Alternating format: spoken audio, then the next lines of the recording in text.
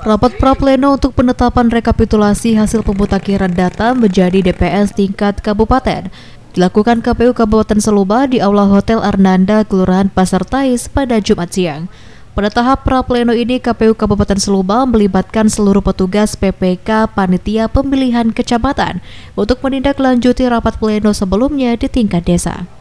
Hal ini diungkapkan Komisioner KPU Kabupaten Seluba Divisi Perencanaan, Data dan Informasi KPU Kabupaten Seluba Andang Ermadona.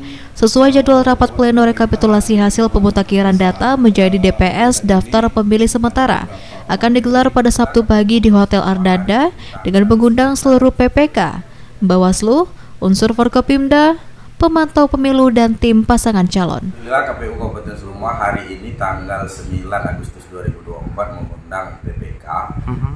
terkait prapleno uh mhm. -huh. untuk penetapan rekapitulasi hasil pemutakhiran data menjadi DPS. Uh mhm. -huh. Dan plenonya sendiri kapan jadwalnya? Insya Allah plenonya akan kita laksanakan besok pagi jam 9 akan mengundang PPK se-Kabupaten Seluma, Bawaslu Kabupaten Seluma, Prokopinda, pemantau pemilu dan tim pasangan calon. Sementara itu dari data KPU sementara ini ada sekitar 156.231 jiwa dari daftar pemilih hasil pemutakhiran. Kendati demikian data tersebut masih berpotensi berubah lantaran terindikasi adanya bata pilih ganda.